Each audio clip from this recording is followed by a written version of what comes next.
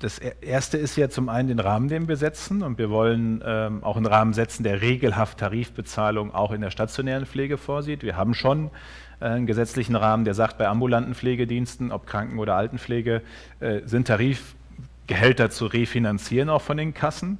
In den Krankenhäusern haben wir auch ja vielfach Tarifverträge. Übrigens gerade auch das ja ein sehr gutes Signal beim öffentlichen Dienst, die Tarifabschlüsse jetzt, die extra für die Pflege in den Krankenhäusern, in der Altenpflege, im öffentlichen Dienst enorme höhere Steigerungen vorsehen als für den Rest sozusagen. Also auch da deutlich. Aber was mir zweitens genauso wichtig ist, neben dem, was wir sozusagen gesetzlich um den Rahmen tun, dass Pflegekräfte, ich habe auf dem Pflegetag gesagt vor zwei, drei Wochen, vielleicht auch noch mehr als bisher auch einfach wahrnehmen sollten, können, dürfen, äh, wie viel stärker ihre Rolle mittlerweile ist und ihre Verhandlungsposition.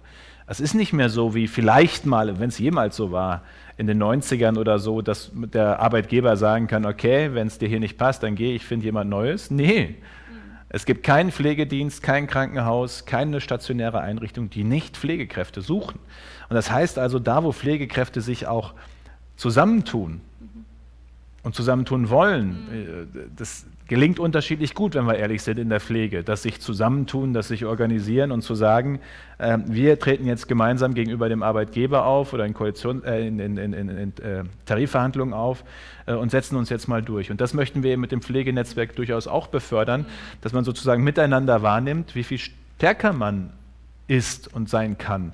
Die Pflegekräfte sind viel mehr als die Ärzte, aber die Ärzte schaffen es irgendwie immer besser, ihre Gehaltsvorstellungen durchzusetzen.